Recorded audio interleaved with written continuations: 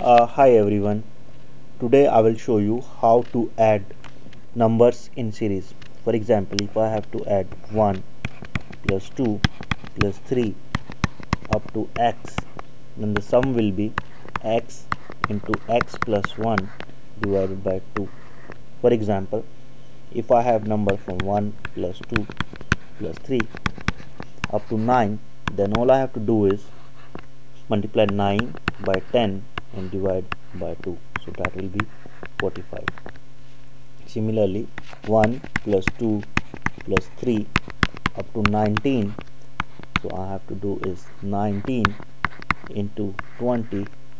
divided by 2 now suppose the number doesn't start from 1 but it starts from something else. For example 10 plus 11 plus 12 and it goes to 19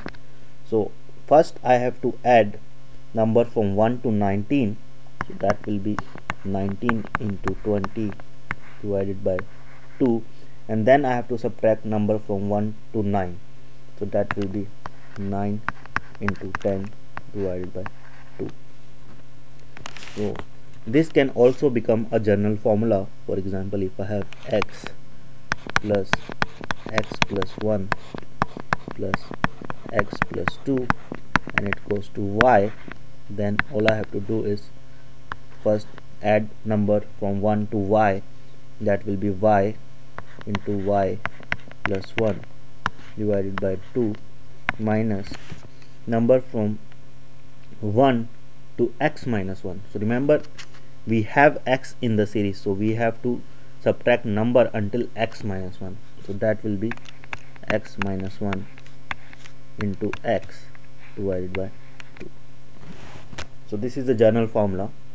Uh, this formula is not uh, if you don't want to cram it and want to understand how this formula was generated so let's go to the series again. So we have 1 plus 2 plus 3 4 plus 5 plus 6 plus 7 plus 8 plus 9 so you can see that these numbers 1 and 9 add up to be 10 then 2 to 8 again add up to be 10 and 3 to 7 is again 10 and then 4 to 6 is again 10 and I'm left with 5 so that is 5 so if you add all this up it will be 4.5 so we have 4 times 10 and half times 10 so 4.5 into 10 or that is 9 by 2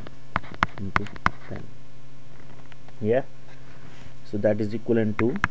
x into x plus 1 divided by 2 now if I add 10 to this series so I will have one more 10